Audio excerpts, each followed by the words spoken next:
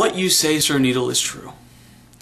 Musicality, musicianship, musical taste, and genres as a whole live and revel in a seemingly infinite grayscale, forever being misshapen, reshaped, created, mutated, and evolved into new, more culturally relevant realms of understanding, and understanding that can only be defined through a cultural context.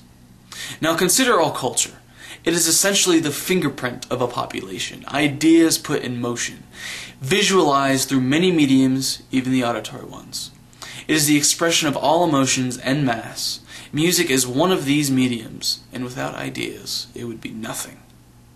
It is not as easy as saying, music will never die, because nothing in music is ever that simple. Consider culture once more, how its ideas are deemed relevant to all within it, and how the ideas deemed unnecessary are thrown out. Music follows this guideline because music is an expressive tool for ideas. It is no coincidence that music from the Revolutionary era in the US isn't topping the charts.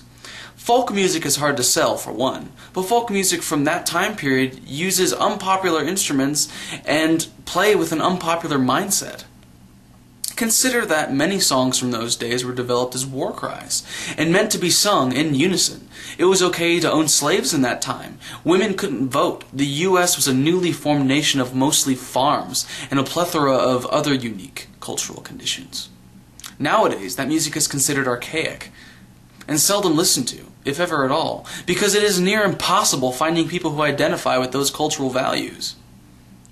However, these days, people can get the blues, feel like shaking their, their ass to some disco and funk, and even beating the shit out of one another to some old school death metal. When considering culture, though, it is not black and white. Genres relevant to our society today are not always relevant to other societies. This is why, in my personal opinion, American hardcore punk is dead. As people are identifying with the music too much instead of the mentality. Not to mention it is a fucking cash cow. But a very similar scene is very much alive and well in the former uh, Soviet states, which is very understandable considering how horrible of a society those people came from. Now, my point here isn't necessarily that music can die, but ideas can. Who here in this society thinks that pharaohs are relevant?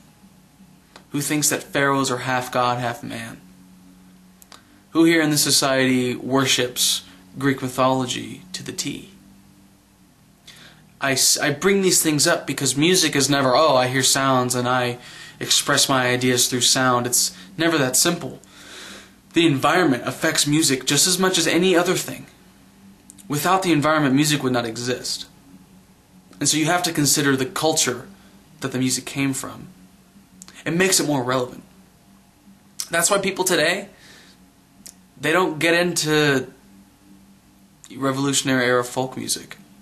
That's why even people today, you know, um, the younger generation of today, don't really enjoy listening to the Talking Heads.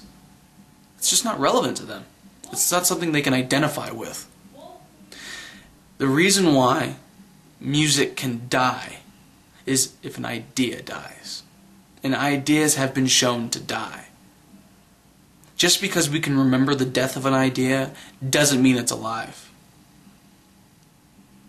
So, in conclusion, music can die because ideas can die. And that's not necessarily a bad thing. Because ideas are only deemed irrelevant by a society if they have a use.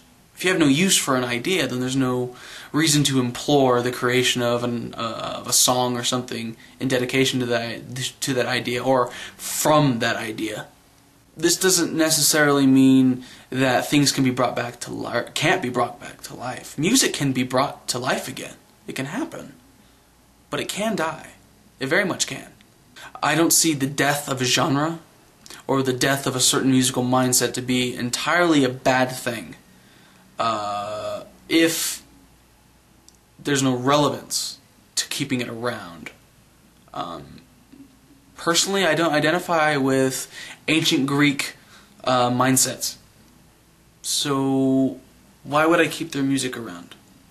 I like the music from the past, you know, 400, 500 years. That's the music I like.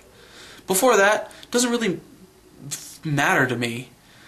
I understand that it has its place, and I understand that it is just as relevant as any genre I'm listening to today. But at the same time, it it's lost its current and present relevance because there are genres of music that have essentially overtaken it. So, with that being said, I am the Axel Snacks, and peace.